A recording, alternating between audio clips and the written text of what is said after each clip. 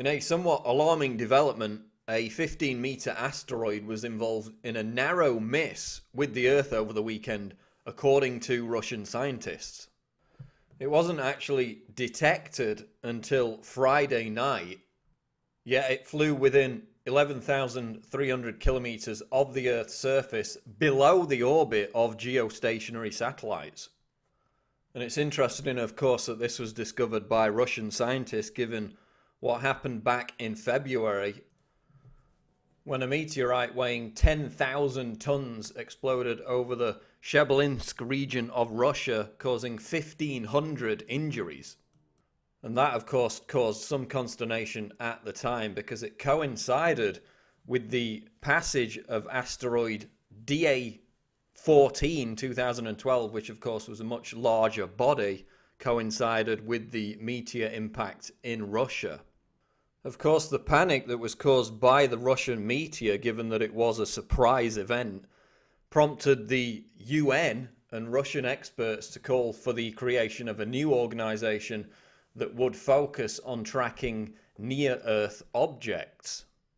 Which again ties into this narrow miss over the weekend because the asteroid that flew within the orbit of geostationary satellites, 11,300 kilometers of the Earth's surface, flew by just nine hours after it was initially discovered. So basically, they had no warning of this asteroid whatsoever. It came as a complete surprise to everybody.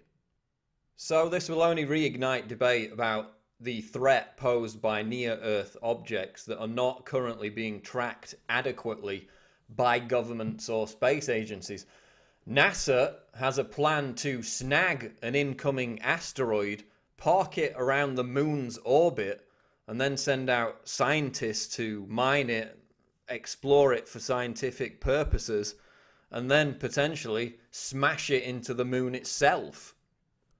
One potentially deadly asteroid that we are aware of is called Apophis. It's set to next pass the Earth in 2029 it's 325 meters in diameter, that's 1,066 feet.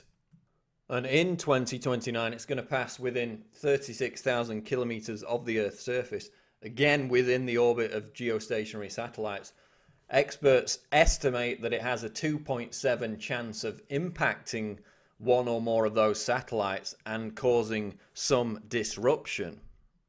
But then in 2036, the same asteroid is going to make another pass of the Earth.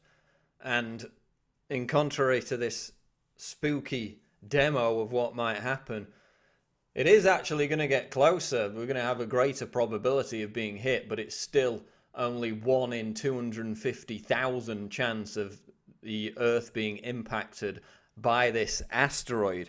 Now, that sounds very remote because it is, but it's still more likely to happen than you getting struck by lightning. So that kind of puts it in perspective. Russian experts are seemingly a lot more concerned about it. The Russian Space Federation uh, have hinted that the threat is, in fact, more serious than is being made out. And they've made uh, attempts to begin a program to potentially deflect this asteroid as it approaches the Earth. So, although it was as no means as big as the asteroid depicted in this simulation, I just find it interesting that we had an asteroid pass within 11,300 kilometers of the Earth's surface on Friday night. Scientists only discovered it nine hours before it passed the Earth, and basically nobody knew about it in the public arena until Monday morning. So, this will only serve to reignite debate about the threat posed by near Earth objects as we get closer to the big one, Apophis, as it heads towards the Earth, set to make a bypass in 2029, and an even closer one in 2036. So that's why governments continue to work towards deep impact style technology to try and deflect these asteroids as the threat looms larger. This is Paul Joseph Watson reporting for Infowars.com.